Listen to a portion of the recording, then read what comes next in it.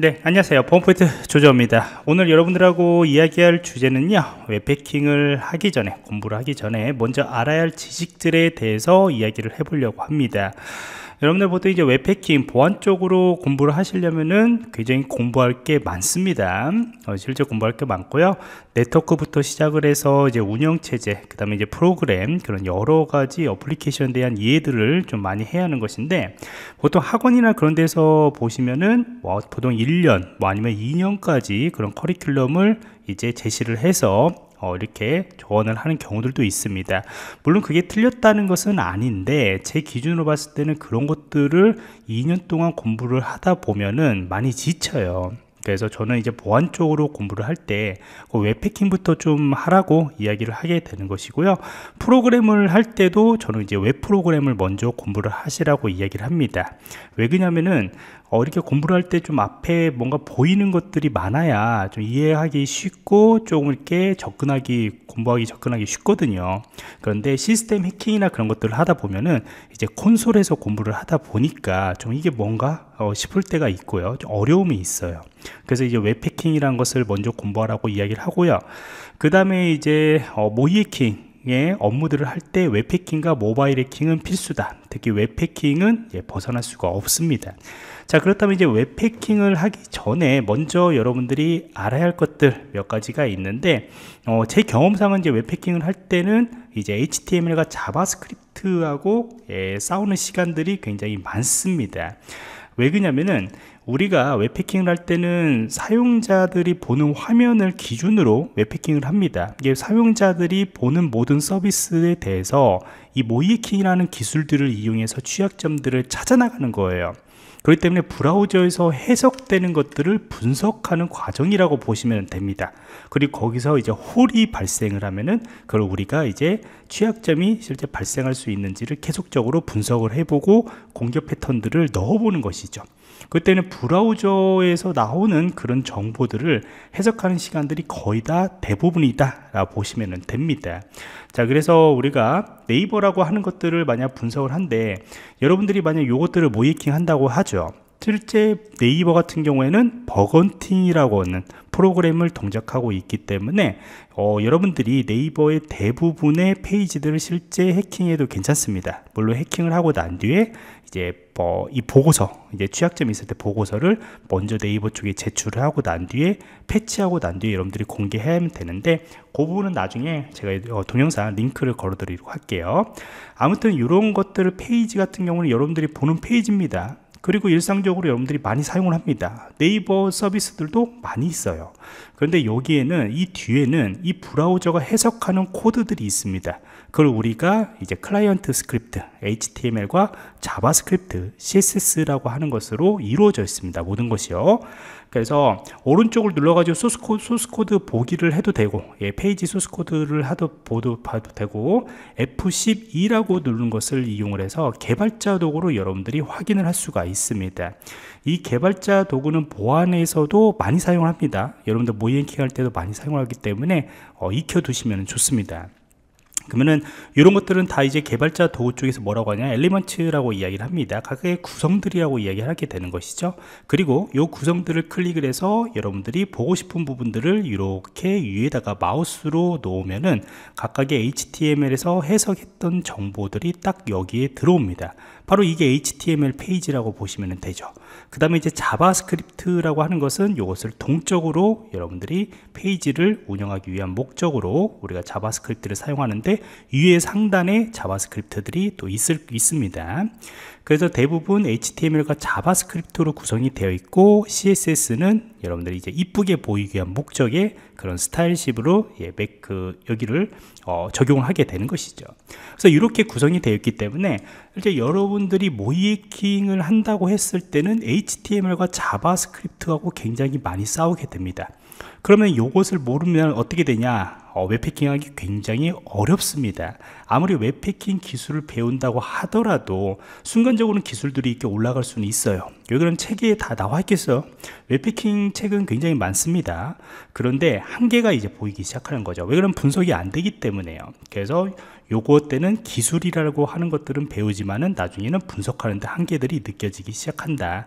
그래서 HTML과 자바스크립트하고 싸우게 되고 이 자바스크립트를 우회하는 기법들을 많이 여러분들이 사용하게 될 겁니다 자 그래서 다시 정리하면은 이 해석된 웹 서비스의 페이지 구조들을 항상 분석하는 기술들이 필요하다.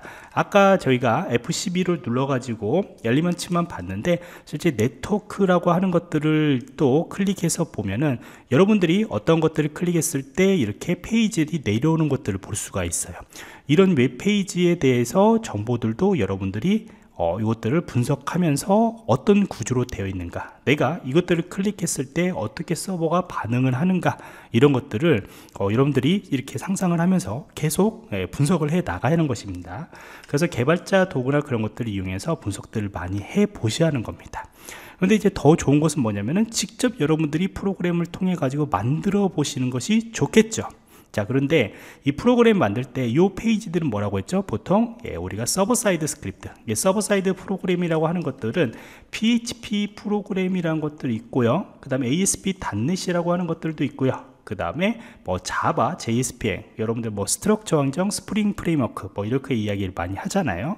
이런 것들이 다 이제 서버 쪽에서 동작하는 프로그램이다 라고 server side script, server side 프로그램 이렇게 이야기를 하게 되는 것인데 요것들이 동작을 하게 되면서 물론 이제 데이터베이스하고 연결이 되어 있죠. 대부분요. 그러면서 HTML하고 자바스크립트로 여러분들한테 보여주게 되는 것이죠. 그 때문에 웹 해킹을 할 때 여기에서 위쪽에서 브라우저를 통해 가지고 웹 해킹을 하지만은 실제 동작은 server side 프로그램에서 그걸 해석을 해서 여러분들한테 다시 보여준다 라 보시면 돼요. 그러면 당연히 이제 서버 사이드 프로그램들을 배우셔야겠죠. 근데 어느 수준까지 배우냐 이것들이 항상 이제 고민이게 되는 거죠. 물론 이제 개발자 이상의 개발자 이상이라고 하는 것은 뭐냐면은 내가 굳이 보안을 하지 않아도 개발자로서도 돈을 벌 수 있는 수준이면 개발자 전문가라고 할 수가 있겠죠. 그러면 그 개발자 전문가 수준으로 여러분들이 공부를 하셔도 괜찮기도 괜찮겠지만은 어렵죠. 사실 직업을 두 개를 가지게 되는 거잖아요. 그렇게 따지면요. 그렇기 때문에 개발자 정도 수준까지 여러분들이 프로그램 하신다면 지쳐요 그래서 프로그램 아까도 이야기했듯이 1년 2년 동안에 뭔가 프로그램은 되게 많이 배우는 것 같아요 학원에서.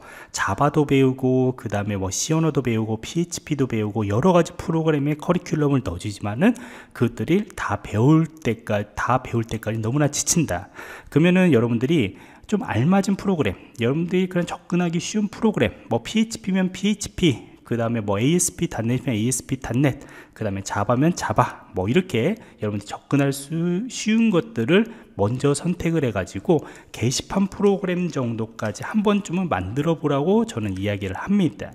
예전에 제가 공개했던 프로그램에서 웹 프로그램을 공부하다 보면은 웹이라는 프로그램과 HTML과 그 다음에 데이터베이스나 기본적인 서버 운영에 대해서 배우게 된다고 이야기를 했어요. 그걸 종합적으로 배울 수 있는 것이 바로 웹 프로그램이에요 근데 이제 게시판 프로그램이라고 하는 것들을 왜 추천하냐면요.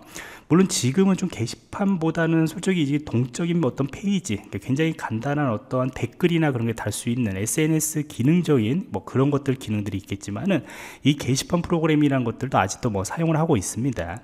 근데 이 게시판 프로그램이라는 것은 여러분들 보시면은 어떤 내가 게시물을 작성할 수 있는 부분들도 있고요. 그 다음에 이 작성한 것들을 수정할 수 있는 기능들도 있고 그 다음에 뭔가 댓글들 달수 있고 검색이라는 기능들도 있고 여러 가지 기능들이 있고요. 그 다음에 이것들을 권한들을 설정할 수 있는 어떤 권한들에 대한 것들도 기능들이 다 들어가 있어요. 그래서 이 게시판이라고 하는 것들은 종합 선물이라고 보시면 됩니다 종합적인 프로그램이에요. 이 안에 기능들이 많다라는 것이죠. 그래서 게시판 프로그램이란 것들을 여러분들이 공부를 하신다면은 하신다면은 나중에 쪽지 기능 같은 경우나 아니면 1대1 뭐 이렇게 음, 상당 게시물이나 이런 여러 가지 기능들을 그 다음 회원 가입 같은 경우나 그런 것들을 좀 만들어낼 수가 있어요. 엠벤을 만들 수도 있고 분석할 수 있는 기능들이 이제 생기는 거죠 그런 능력들이 생기는 겁니다. 그래서 항상 제가 서버 사이드 프로그램 특히 이제 PHP를 조금 추천을 합니다. 왜 그런 PHP 같은 경우에는 이제 C 언어라고 하는 문법도 거의 유사하고 거의 똑같죠. 똑같고 그 다음에 여러분들이 어 좀 접하기 쉽기 때문에 그래서 이것을 이용을 해서 게시판 프로그램들을 어느 정도는 좀 만들어 보시라 라고 이야기를 해요. 그래서 만들 수가 있으면 당연히 예, 분석도 가능한 것이고요.